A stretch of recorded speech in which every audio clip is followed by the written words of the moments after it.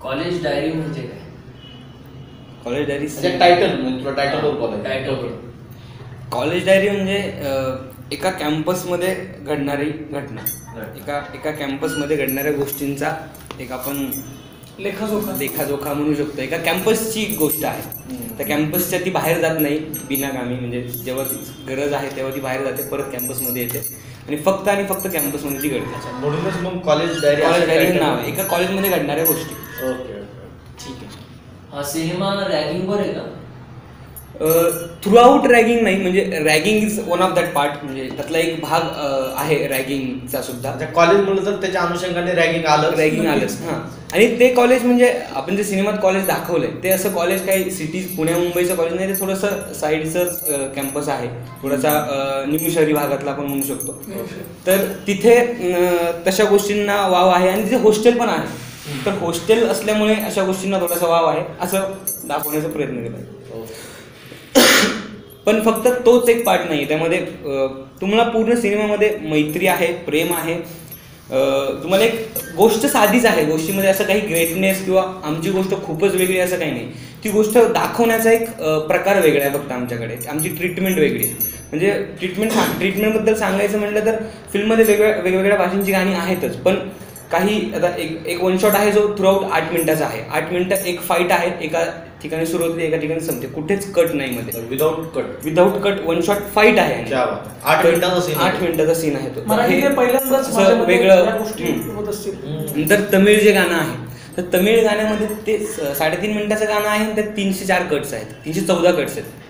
साडेतीन मिनिटाच्या गाण्यात तीनशे चौदा cuts. तर आणि तुम्हाला म्हणजे तुम्हाला ते गाणं पाहिलं तर ते कळेल की किती म्हणजे असं गाणं आपल्या मराठीमध्ये तरी असं नाही झालं की एवढं सुंदर गाणं. आणि एक म्हणजे बाकीच्या सिनेमांचं मी ऐकलं ना की अरे वो गाणं निकाल दिया वो गाणं कट कर दिया. तर असं नाही आपल्या सिनेमाचं एखादं जरी गाणं काढलं तरी it's a story part of story जर ते काढलं तर स्टोरी पुढे जाणार नाही. नेरेटिव्ह आहेत गाणी कुठलीही डान्सिकल गाणी नाही आहेत मोंटाचिकल गाणी आहेत. आपल्यासमोर गोष्टी घडतात आणि त्याच्यामागे गाणं आहे. सिच्युएशनल गाणी. सिच्युएशनल गाणी आहेत. म्हणजे पाच भाषेतली पाच गाणी त्यातल्या त्या गाण्याचे किती कट सांगितले एका गाण्यामध्ये? तीनशे चौदा. कट. तीनशे चौदा कटचे एका गाण्यात वेगळा प्रयोग बघायला मिळणार आहे. आणि तुमचे काही फायटिंग स्टंट असतील किंवा तिचे ट्रीटमेंट आहे कॅमेऱ्यापासून ते डिरेक्टर व्ह्यू शॉट टेकिंग हे खूप जबराट वाटतंय बरं का बघताना. म्हणजे अगदी तो टिपिकल मराठी सिनेमा नाही वाटत जरा थोडासा वेगळा वाटत वेगळं बघायला नक्कीच आवडेल. हा अजून काही बोलायचंय? हा तुम्हाला हा बोला यामध्ये प्रेम पण आहे का? हो ऑफकोर्स तुम्हाला ट्रेलरमध्ये त्याची एक एक शेड पाहायला मिळाली असेलच. म्हणजे तुम्हाला ट्रे ट्रेलरमध्ये बाकीच्या सगळ्या गोष्टी चालू असताना मध्ये एक प्रेमाची शेड सुद्धा आहे. तशीच ते चालू असताना एक मैत्रीची शेड सुद्धा आहे. कॅम्पसमध्ये म्हणजे सगळ्या गोष्टी मला असं म्हणायचं आहे सिनेमाबद्दल तर की it's a power it's package proper package आहे या सिनेमात. म्हणजे प्रेमही तेवढंच आहे मैत्रीही तेवढीच आहे अं, मारामारीही तेवढीच आहे विलनचा ग्रँडनेस विलनचा ती डा त्याची डार्क साईड ती तेवढीच प्रकर्षाने दाखवली आहे. तर अशा सगळ्या गोष्टींचं एक छान पॅकेज आपण सिनेमाला मिळू शकतो. मग या ही सगळी जी घटना घडली कॉलेज डायरी जे तुमच्या एका कॅम्पसमध्ये घडली ती मैत्रीमुळे पूर्ण गँग वॉर किंवा जेव्हा तुमच्या भांडणं चालू दिसतात ऍक्शन चालू आहेत पूर्ण. हे कशामुळे? मी एक आधीच्या प्र- प्रश्नाचं उत्तर म्हणजे प्रेम हे या तुम तु- तुझा दुसरा प्रश्न आहे तो खरं तर आधीच्या त्या- त्या- त्याच्यामध्ये त्याचं उत्तर आहे. प्रेम हे फक्त हिरोचं त्या हिरोईनवर नाही. प्रेम हे त्याचं त्याच्या त्या संघर्षावर त्या संघर्षावर प्रेम आहे. त्या विलनचं त्याच्या त्या सत्ता टिकवण्यावर प्रेम आहे. आणि जी काही घटना घडते म्हणजे मैत्री मैत्री असेल मित्रांचं एक प्रेम असतं की ते त्याला टोक नसतं टोकाच्या पलीकडे जाऊन मित्र प्रेम करतात. तर या सगळ्या गोष्टींचं पॅकेज आणि ह्या घटना ज्या आहेत ते याच गोष्टींमुळे घडतात. एकाला एकाची सत्ता टिकवायची आहे एकाला ती मोडून काढायची आहे. एकाचा त्यात त्याच्या त्यात एक प्रेमाची हलकीशी किनार आहे फक्त त्याला. म्हणजे ज्या कोणी आपल्या एक प्रेमाचा जो हे दिलाय अं, आपण म्हणू हलकासा जो गंध सोडलाय तो त्याची किनार त्याच्या त्याच्या कॅरेक्टरची किनार ती ओके. नक्कीच अविनाश तू छान बोललास की प्रेम म्हणजे काय? तर जनरल टिपिकल सिनेमांमध्ये असंच असतं की अं, प्रेम म्हणलं की नाही मुलगा आणि मुलगी ह्या दोघांमध्ये घडणारच नक्कीच, प्रेम. नक्कीच. तर तू जे वेगळेपण सांगितलंस की अं, त्या कॅरेक्टरची गरज आणि त्याचं त्याच्या बो- त्याच्या अं, म्हणजे त्याचं एम्पायर जे असेल त्याच्यावर असणारं प्रेम जे आहे समजा याची वेगळी भूमिका आहे त्याच्या भूमिकेबद्दलचं प्रेम त्याला काय करायचंय तो प्रेमाने त्याच्याशी काम करतोय. मित्राचं प्रेम वेगळं सांगितलं आणि अं, म्हणजे तो विलनियस कॅरेक्टर आहे तर त्याच्या कामावरच त्याचं प्रेम. हे प्रेमाचे वेगवेगळे. सेट्स खरंच पाहायला मजा येते त्याला. पण आणखी एक दुसरा थोडासा प्रश्न मला विचारायचा आहे की जनरली सिनेमे चालवण्यासाठी म्हणजे चालवण्यासाठी म्हणतोय बरं का की नाही मग आयटम सॉन्ग पाहिजे राव आयटम सॉन्ग पाहिजे. असं काय तुम्ही विचार केलता का नाही? काय त्याबद्दल मत काय तुमचं? आणि तुमच्या सिनेमात तसं काय बघायला मिळणार आहे का नाही नक्कीच नाही आपल्या Dedicatedly सिनेमामध्ये नाही. नाही हम्म. कारण म्हणजे- आयटम सॉन्ग टाकणं एवढं महत्वाचं नाहीच वाटलं वाटलं आम्हाला. कारण ते अं, भागच नाही हो हम्म. आता आम्हाला असं नव्हतं दाखवायचं की कॉलेजची पोरं जाऊन कुठेतरी दारू पीत बसली आहेत मग आयटम सॉन्ग घडला दुसरं काय माध्यम काय दाखवायला आयटम सॉन्ग म्हणजे आहे आमच्या सोडायचंच असलं तर मग असं काहीतरी करावं खूप असतं. सजेशन्स येत आहेत. फिल्म हा. पूर्ण झाल्यानंतर. अरे आयटम हा, त्याच्यामुळे मी प्रश्न तुम्हाला विचारतो कारण तुम्ही स्पष्ट सांगितलं. नाही नाही नाही. तर it's a totally different cinema आहे. म्हणजे कोर हार्ड कोर आपण एक सिनेमा म्हणतो ना तो सिनेमा आहे. मला असं वाटतं की आपण कमर्शियली जरी पोर्ट्रे करत असलो आपला सिनेमा तरी त्यातलं खरेपण आम्हाला घालवायचं नव्हतं. तेवढाच तो रे जेवढा तो कमर्शियल आहे त्याच्यापेक्षा दुप्पट तो रिअलिस्टिक आहे. बोललो ना आपण जे मराठी प्रेक्षक आता लिटरेट होते मराठी प्रेक्षकांना वेगळं काहीतरी बघायला मिळायचे. फक्त आयटम सॉन्ग बघूनच त्यांना थांबायचं नाही. संहितेची गरज नाही तर. आयटम सॉन्गची काही गरज नाही. मी असे अनेक लोक बघितल्यात कारण मी पण लिहितो किंवा मी पण काही गोष्टी डिरेक्ट करतो. तर प्रोड्युसरकडून मागण्यात की. अरे नाही, एक काम कर. आयटम सॉन्ग पाहिजे राव आयटम मग आपल्या असं वाटतं की रायटर मारला जातो रे डिरेक्टर तर जीवच मारला जातो. आयटम आणि प्रोड्युसर म्हणजे आपलं काय? सर करायचा सिनेमा. सिनेमा- आलं का लक्षात? आणि मग मग काहीतरी ओढून तोडून जसं हा म्हणलं की मग आम्हाला कुठेतरी दाखवायचं असतं तर कुठेतरी मग ते कुठेतरी हा. जातो. आणि मग तिथे आयटम सॉन्ग टाकलं की मग सिनेमा चित्रित म्हणजे पडद्यावर बघताना असं वाटतं काय ते ओढून म्हणजे- आमच्या खर तर आमच्या प्रोड्युसर्सचं खूप कौतुक करावं असं वाटतं. की भावेश काशी यांनी आमचे प्रोड्युसर्स आहेत. तर त्यांनी कुठेच कधी तो हस्तक्षेप केला नाही की तुम्ही हे करा आणि हे करू नका. इतका विश्वास त्यां- त्यांनी या. टीमवर दाखवलाय. म्हणजे अनिकेतवर दाखवलाय विशालवर विशालवर दाखवलाय बाकीचे सगळे ऍक्टर त्यांच्यावर दाखवलाय की त्यांचा हस्तक्षेप कुठेच नव्हता. ते सेटवर असायचे पण कधीच ते असे म्हणाले की ही गोष्ट करू नको. ही गोष्ट चांगली वाटत व्हेरी नाही गुड असे प्रोड्युसर मिळणं फार गरजेचं आहे की. डिरेक्टर आणि कलाकारांना स्वातंत्र्य पाहिजे त्यांची कलाकृती व्यवस्थितरित्या करण्यासाठी. ओके चला अजून अजून काय प्रश्न असतील याचे तर आपण बघूयात. आणि हा. किरण तुला काय विचारायचं हा काय प्रश्न असतील तर विचारू शकता. नाही हा, नक्कीच आपण. विचारू शकता. तुमचं जे जे आहे कॉलेज डायरी म्हणजे कॉलेजवर आधारित फिल्म तुम्ही म्हणत आहे. तर बरोबर. शूटिंग पूर्ण कॉलेजमध्ये झालेली आहे की म्हणजे बाहेर लोकेशन पण तुम्ही हे केलेलं आहे त्याच्यात? अं, मला असं वाटतं की ही गोष्ट थोडीशी अं, हे फिल्म पर्यंत गुपित राहावी. लोकेशनची अच्छा बरं बरं ठीक आहे. तुम्हाला काय वेगळं अजून दाखवायचं लोकांना डायरेक्ट कारण कसं आता जर ती गोष्ट सांगितली तर ती बघताना लोकांच्या डोक्यात राहील की. आपण हे बघतोय. पण ती गोष्ट ऍक्च्युअली तशी नाही ती अशी आहे. म्हणजे जर ती ती- गोष्ट आत्ताच सांगितली तर. प्रॉब्लेम सांगू शकतो की त्या लोकेशनसाठी आम्हाला काय काय चांगलं सांगेल. ह्याच्या मागे एक म्हणजे मला सांगायची गोष्ट ह्याच्या मागे एक- एक आम्ही सिनेमा बनवत असताना ह्याच्या मागे एक सिनेमा घडला. अगदीच. तर याची बॅक स्टोरी खूप मोठी आहे त्याला आपल्याला चार इंटरव्ह्यू लागतील. तर म्हणजे पहिल्यांदा सिनेमा बनवत होतो कोणीही मोठं असं पाठीशी नव्हतं. मुलं मुलं एकत्र आलो होतो अनिकेतचं वय पंचवीस आहे माझं वय तेवीस आहे. आम्ही सगळेच आणि असा सेट होता की त्यावर फक्त लाइट बॉयज मॅरिड होते. बाकी सगळं अनमॅरिड सेट होता. सगळे आजच्या म्हणजे आम्ही सगळे मित्र मित्रांनी एकत्र येऊन मेकअप पण सुद्धा आमचा असेल किंवा युथचा सिनेमा आहे टेक्निकल टीमपासून ते आर्टिस्ट पर्यंत युथ आहे सगळी टीम येस युथ आहे तर ते बनवत असताना आमचं एक शेड्यूल झालं. फिल्म पूर्ण बनवायला आम्हाला पन्नास दिवस लागले. कारण की तेवढे फास्ट कट्स फिल्ममध्ये आहेत तर फिल्मचं फुटेज आहे चार साडेचार तासाचं. तर ती बसवली अडीच तासात. पण तेवढे कट्स आपल्यासमोर तेवढा ग्राफ येऊन जातो अडीच तासात. तर फिल्मचं फुटेज खूप मोठं रेकॉर्ड करायचं होतं आणि त्यामुळे साठी पन्नास दिवस लागलेत आम्हाला सिनेमा बनवायला. तर एक शेड्यूल झालं बावीस दिवसांचं पंचवीस दिवसांचं. ते झालं त्यानंतर आम्ही एक ब्रेक घेतला आणि त्यानंतर आम्ही पुढचं शेड्यूल लावून असं परत कंटिन्यू कंप्लीट करणार होतो फिल्म आणि म्हणजे ते शेड्यूल झालं आय थिंक जॅनमध्ये आणि आम्ही परत पुढच्या डिसेंबरला म्हणजे सेम वेदर मिळेल आपल्याला सेम सगळ्या गोष्टी मिळतील म्हणून आम्ही असं ठेवलं होतं. आणि अचानक लोकेशनचा फोन आला मे मध्ये. मे एंडिंगला लोकेशन जे आहे लोणावळ्यातलं एक शाळा आहे. तिथे आपलं कॉलेज कॅम्पस आहे. तर आम्ही एक दोन महिन्यांनी ते लोकेशन पूर्ण पाडतोय. आणि आम्ही तिथे एशियाचा सगळ्यात मोठा आईस स्केटिंग बोर्ड करतोय. आणि तुमचं शूट असेल ते कंप्लीट करून घ्या. तर आता प्रॉब्लेम असं आम्ही लगेच प्रोड्युसर्सला फोन लावला. प्रोड्युसर्स आपले भावेश सर होतेच पण अजून एक प्रोड्युसर्स होते. त्यांचं असं म्हणणं आलं की आता माझ्याकडे एवढ्या करंटली पैसे नाही आहेत. किंवा नाही नाहीच म्हणजे त्यांनी बॅकआउटच केलं. मग आता शूट तर करायचं आहे मग सुरू झाला स्ट्रगल पैसे जमवण्याचा. तर नाही म्हटलं तरी पंचवीस दिवस शूट करायचे कमसे कम म्हणजे पूर्ण सत्तर क्र्यू ज्युनियर्स मिळून शंभर लोक ऑन सेट असायची रोज. ती तर कमी करू शकत नाही. आणि भरपूर टेक्निकल खर्च लाईटचा पर डे आहे जेवणाचा या सगळ्या गोष्टी म्हणून मोठं बजेट निघत होतं. मग करता करता करता करता असं झालं भावे सरांनी आम्हाला काही पैसे दिले एक स्टार्टिंग अमाऊंट तीन चार लाखाची. आणि ती घेऊन मी टपरी म्हणजे सेट्स आहेत सिनेमात भरपूर. म्हणजे हॉस्टेल आम्ही आपण सेटअप केला आहे. टपरीचं सेटअप आहे विलनची रूम आहे सेटअप आहे. तर ते करायला मी ते पैसे घेऊन पुढे गेलो आणि अनिकेत आणि आनंद बोरड म्हणून जे आहेत आपल्या ह्याच्यामध्ये हे बाकी सगळे पैशांच्या मागे लागले. आणि त्यानंतर आम्ही ते शेड्यूल एवढं एनर्जीमध्ये आणि या ह्याच्याने केलं की अनिकेतने पैसे ॲट पॉईंट येत होते व्याजाने येत होते. आईचं घरची जमीन ठेवून त्याने हे अनिकेतने केलंय. आणि त्यामुळे ते पैसे त्या कारणाने होते तर आम्हाला सेटवर त्याचा हे होतं की नाही बाबा हे पैसे आम्हाला. करेक्ट ठिकाणीच वापरायचे. आणि त्याचा यूज तसाच झाला पाहिजे. त्यासाठी प्रोडक्शन विष्णू गोरपडे किंवा सचिन दुबळे असतील त्यांनी खूप मदत केली की तो करेक्ट ठिकाणीच लागला गेला पाहिजे पैसा वाया न जाता. तर असं होता होता पूर्ण म्हणजे सोनं ठेवा जमीन ठेवा पैसे तो खूप मोठी गरज होती. आणि शूट प्रॉब्लेम असा होता की शूट तुम्हाला त्या पिरियडमध्ये संपवणं गरजेचं नाही तर मागचं शूट केलं ते सगळं आपल्याला इरेज करावं लागेल काहीच फायदा नाही.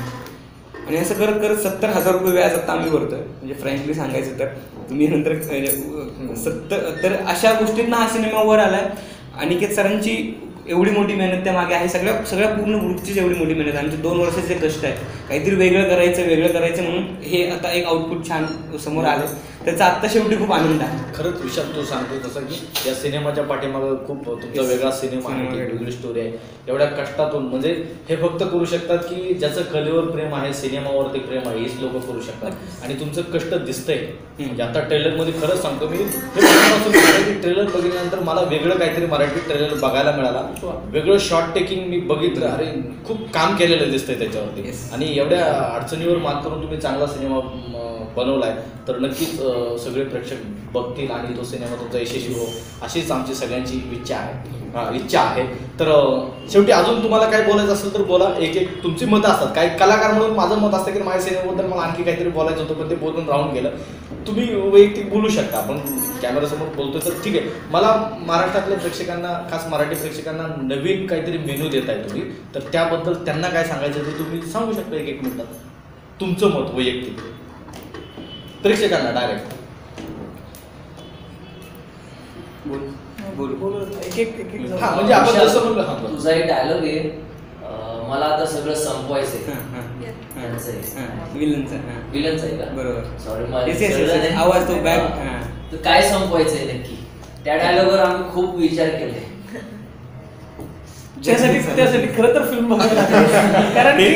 त्या एका डायलॉगवर पूर्ण फिल्मचा जो आपण ग्राफ आहे तो तो ते एका डायलॉगवर आहे. मला संपवायचं सगळं आपण असं म्हणू शकतो जे बडीला जे त्या खलनायकाला आवडत नाही ते सगळं ते संपवायचं. सगळंच सगळं संपवायचं म्हणजे त्याला जी गोष्ट पटत नाही ती संपलेली असते. अशा पद्धतीचा तो आहे. त्यामुळे ते सगळंच संपून टाकायचं असं म्हणू शकतो आपण. तुला काय त्यांनी जे? कांड केले सगळे म्हणजे तुझ्या ऑपोजिटला जी मुलगी आहे ती म्हणते मला तुझ्यासोबत राहायचंय. आता तू चुकीचा असतानाही तिला का तुझ्यासोबत राहायचं चुक अच्छा चुकीचा बरं. म्हणजे कॅरेक्टरमध्ये. चुकीचं वागतोयस तू तुझ्या याच्यात. निगेटिव्ह शेड दिसतात. निगेटिव्ह शेड्स त्या निगेटिव्ह शेड्स म्हणजे त्या निगेटिव्ह काय आहेत हे बघण्या हे कळण्यासाठी सिनेमातनं तुम्हाला कळेल की वाय ते निगेटिव्ह काय आहे म्हणजे सिनेमाचा कंटेंट जर तुम्ही पाहायला गेलात तर म्हणजे आम्ही जास्त काही रिव्हील करू शकत नाही कारण की डिपेंडेबल गोष्टी आहेत भरपूर साऱ्या. तर म्हणजे त्या सांगून सिनेमा स्पॉईल होईल. तो स्पॉइलर होईल. त्यापेक्षा खूप म्हणजे मला असं म्हणायचं तुम्ही सिनेमा पाहायला गेल्यानंतर अडीच तासाची एक छान सुंदर ट्रीट आहे. सुंदर साऊंड सुंदर बीजीएम वेगळं काहीतरी वेगळे शॉर्ट्स त्यांनी जो प्रश्न विचारला ना त्या प्रश्नाला अनुसरून ना मला प्रश्न सगळ्यांनाच पडलेले आहेत त्याबद्दल. आणि तुम्ही त्या जागा ठेवल्यात की प्रेक्षकांनी थिएटर पण देऊन. म्हणजे एवढं सतत एका हिरोच्या तोडा सिगरेट दिसते त्याचा लुक म्हणजे हा जरी विलन असला तर त्याचा ऍटिट्यूड विलनेस असा काहीतरी वाटतोय किंवा सूडबुद्धी म्हणजे अं, विरोधाभास दोन काय दोन पार्ट्यांमध्ये भांडणं आहे तरी मला ते जिंकायचं आणि त्याला मारायचं किंवा काहीतरी असेल सतत ते डोक्यात दिसतंय त्याच्यात थ्रू आउट द ट्रेलर आणि असं असताना सुद्धा एक मुलगी त्याच्या प्रेमात पडते आणि मग प्रेमात पडत असताना सुद्धा मग तो काय करतोय नेमकं? किंवा त्यांचं नक्की पुढे काय? काय होईल? ह्या जागा तुम्ही ठेवलेल्या आहेत. पण ती जेव्हा मला म्हणते की मला राहायचं तुझ्यासोबत त्यानंतर दुसऱ्या शॉटला ती म्हणते जातीचा गुंड येतो हा. हे सुद्धा असे आहेत म्हणजे की लोकांना हे लागत हे नक्की काय आहे? त्याच? हा, नाव पण तसं ठेवलंय कॉलेज डायरी की प्रत्येक पान उलगडलं की वेगळं काहीतरी तुम्हाला. फिल्ममध्ये बघायला. मिळेलच क्या. म्हणजे नुसतं प्रेम अरे हा, रॅगिंग. एक पान उलटलं प्रेम दिसलं दुसरं रॅगिंग अरे तिसरं हे चौथं ते वेगवेगळं काय पोस्टर पण दिसतंय इथं पोस्टर काय आहे? तसं डिझाईन केलंय तुम्ही अगदी तोच प्रश्न होता ऍक्च्युली. कलर्स असे का यूज केले येलो आणि आपली खरं खरं तर ती फिल्मची थीम आहे. तुम्हाला लाइटिंग पण तसं पाहायला मिळेल. म्हणजे थोडंसं टंगस्टन टंगस्टन लाइटिंग आणि एक आपले कलर्स फिल्मचे कलर्स ते आहेत. डेडिकेटेडली फिल्म म्हणजे आम्ही डी आयपासून कलरिंगपासून तेवढं वेगळं कसे दिसतील ते फुटेज म्हणजे कलर्सचा खूप चांगला उपयोग आम्ही करण्याचा प्रयत्न केला तर त्यानुसार ते पोस्टर आहे. म्हणजे त्या कलर स्कीममधलं आणि दुसरं असं होतं की हा ही फिल्म करावी त्यासाठी एखादी गोष्ट अशी इन्स्पायर ठरते. ही पण यासाठी करावी किंवा प्रेक्षकांना यासाठी द्यावी तर ती नेमकी गोष्ट आपण सांगू शकता. का? नेमकी ऍक्च्युअलमध्ये. इन्स्पायर काय केलं? कुठल्या गोष्टीने केलंय? हा सिनेमा बनवायला. हा. तसं पाहायला गेलं तर मागच्या सात आठ म्हणजे चार पाच वर्षांनी इन्स्पायर केलं म्हणू शकतो. तेव्हापासून म्हणजे एक चार वर्ष झाले काम करतोय असं वेगवेगळ्या लोकांना असिस्ट करतोय. आणि किती साहेब आणि दोघं जेव्हा आम्ही एकत्र आलो किंवा तेव्हा आमचं पहिल्यापासून होतं काहीतरी वेगळं करूयात. म्हणजे आम्ही जेव्हा जिथे जिथे असिस्ट करत होतो तिथेही काही गोष्टी पटायच्या नाहीत. किंवा असिस्ट करत करत असताना आम्हाला हे समजलं की काय करायचं नाही. त्याचा आम्हाला या सिनेमात खूप उपयोग झाला की ह्या गोष्टी मला डेडिकेटली टाळायच्या सेटवर तर मागच्या सगळ्या अनुभवांनीच मला वाटतं प्रेरणा दिली की असा काहीतरी वेगळा सिनेमा घेऊन या तुम्ही म्हणून ओके नक्कीच आता सध्या थोडंसं अजून आता cinema all over Maharashtra release होते ना Yes. काय किती स्क्रीनिंग स्क्रीन किती आहेत स्क्रीनचा खरंच प्रॉ म्हणजे आहे प्रॉब्लेम आहे म्हणजे अं, खरं सांगायचं म्हणलं तर म्हणजे त्यातली अजून एक गोष्ट आहे की हे का हे का विचारतोय म्हणजे महाराष्ट्रातल्या लोकांनी तिथं तिथं पोहोचलं तरी पाहिजे. बघावं बाबा या या ठिकाणी आम्ही रिलीज केला एवढ्या भागांमध्ये. तर तुम्ही जाऊन नक्कीच बघा. यासाठी म्हणून विचारतो की तो नक्कीच दीडशे स्क्रीनला लागेल तो पुणे मुंबई मा अं, पुणे मुंबई नागपूर अमरावती नांदेड लातूर नाशिक अहमदनगर अशा सगळ्याच सिटीजमध्ये लातूरपासून सगळीकडे लावायचा आमचा प्रयत्न आहे. ऑलमोस्ट दीडशे स्क्रीन्सचं तुमचं प्लॅनिंग आहे. नक्कीच. पहिल्या आठवड्यात. ओके. हा परत येऊ आता त्या प्रश्नावरती की तुम्हाला आता ॲज अ इंडिव्हिज्युअल काय ना काय सांगायचं तुमच्या आपल्या म्हणजे भूमिकेपासून सिनेमाबद्दल काय तुम्ही बघाच हा सिनेमा काय आम्हाला दाखवायचं ते? म्हणजे तसं आपण बोललोय तरी देखील काय मत असेल. अभिनंदनचं काय असेल? प्रतीकचं काय असेल? भूमिकेबद्दल तर मी याच्या आधी बोललेलोच हो, हो. आहे खलनायक जो काही असेल तर. मला फक्त एक महाराष्ट्राला सांगायचं आहे महाराष्ट्राच्या जनतेला आणि आपल्या सगळ्यांनाच सांगायचं आहे की खूप मेहनतीने आणि खूप कष्टाने हा सिनेमा बनला आहे म्हणजे इथे फक्तच डिरेक्टर ॲक्टर या सगळ्या गोष्टी नाही. टेक्निकल टीमपासून जे आपले डी ओ पी आहेत म्हणजे सोपान पुरंदरे असतील आपली गाणी ज्यांनी लिहिली गणेश साबळे असतील परत म्युझिक ज्यांनी केलं आपलं जे बी करत आहेत करतायत निरंजन पेडगावकर या प्रत्येकाची मेहनत तितकीच आहे. आणि आज प्रत्येकजण कुठं ना कुठं तो अपेक्षेने बघतो त्या सिनेमाकडे की हा सिनेमा मला आहे ना कुठेतरी लांब घेऊन जाईल. म्हणजे या इंडस्ट्रीमध्ये स्थान निर्माण करून देईल. या अपेक्षेने आम्ही त्या सिनेमाकडे बघतोय. आणि हेच कष्ट आज आम्हाला दिसत आहेत की तुम्ही जे काही बोलता की अरे हे काहीतरी वेगळं आहे. अपेक्षा नाही खूप काही मिळावं आम्हाला.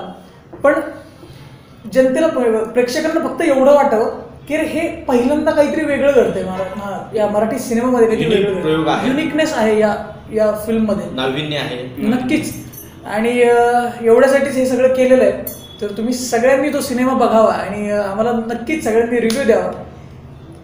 ठीक आहे. ओके नक्कीच. हा बोलायचं प्रतीक हो, बोला. अं, आपण अं, असं एक म्हणतो की एका फिल्मला गाण्याची साथ लागते. म्हणजे एक फिल्म असेल. हम्म. तर त्यातली गाणी त्या चित्रपटाला अजून अं, चांगलं इन्स्पायर कर म्हणजे लोकांपर्यंत पोहोचून शकतात. असं मला वाटतं. तर गाण्यांबाब गाण्यांची चर्चा झाली पाहिजे या फिल्म मधल्या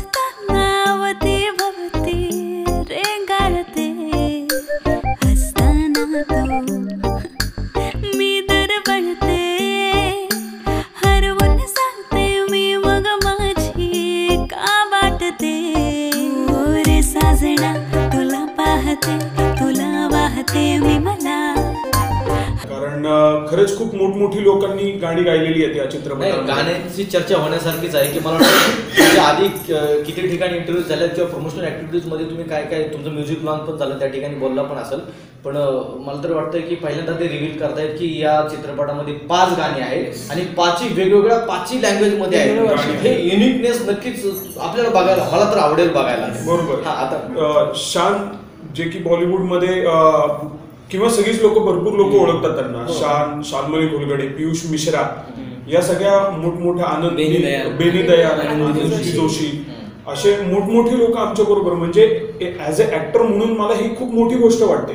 की सुरुवातीलाच एक प्रोजेक्ट करतोय. त्यामध्ये ऍक्टिंग जरी नसली तरी आम्हाला संगीत म्हणजे या लोकांकडनं आम्हाला मिळतंय काही ना काहीतरी. यांचा एक सपोर्ट मिळतोय आम्हाला. हे खरंच खूप मला आवडलं हे खरंच कारण म्हणजे कॉलेज डायरी हां, त्यात सुद्धा मी एक ऍड करायची म्हणजे की पियुष मिश्रा सारख्या सिंगरने आपल्या फिल्ममध्ये गाणं गाणं म्हणजे ज्याला जेव्हापासून कळायला लागली गाणी तेव्हापासून त्यांचा आवाज ऐकत त्यांची लिरिक्स ऐकत त्यांची पुस्तकं वाचून मोठा झालो.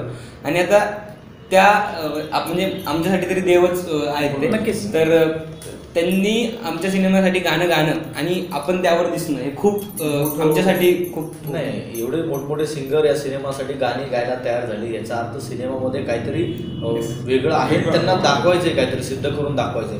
यालाच यालाच धरून सर एक गोष्ट सांगतो की या सिनेमासाठी आहे ना म्हणजे हे मराठी सिनेमा करतोय. हे. एवढं म्हणून हे सिंगर्स तयार नाही झाले. आप- आपला जो आपण एक रफ कट तयार केला होता म्हणजे सेमी ट्रेलर तयार केला होता. हा. आपण त्यांना तो पाठवला.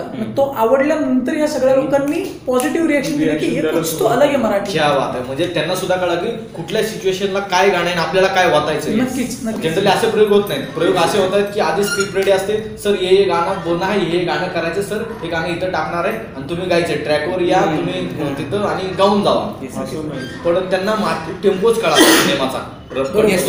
त्यांचं गाणं कुठे येणार आहे? त्याचे व्हिज्युअल्स काय आहेत हे सुद्धा सिंगर्सला माहिती होतं. तर माझं तर वैयक्तिक मत असं आहे की म्युझिक किंवा सॉंग्स असतील बॅकग्राऊंड स्कोअरपासून ते गाणी हे सिनेमाचा आत्मा आहे. नक्कीच. ट्रेलरवरूनच कळतंय आपल्याला की यांनी खरंच चांगलं काहीतरी बघितलं बघितलंय. तर आपण सगळेजण हा सिनेमा पाहूयात. त्यानंतर त्याच्यावर चर्चा करूयात. पुन्हा टीम आपल्या बरोबर Yes, नक्की. सिनेमा रिलीज झाल्यानंतर येईलच. तर आपण थिएटरमध्ये जाऊन येता येत्या सोळा फेब्रुवारीला जाऊन हा सिनेमा पाहावा. आम्ही अशाच नवनवीन मराठी चित्रपटांची टीम तुमच्यासमोर घेऊन येऊ. तुमच्याशी आम्ही कम्युनिकेशन करत राहू. धन्यवाद. तितली सी बन के उड़ जाऊं बन के आ जाओ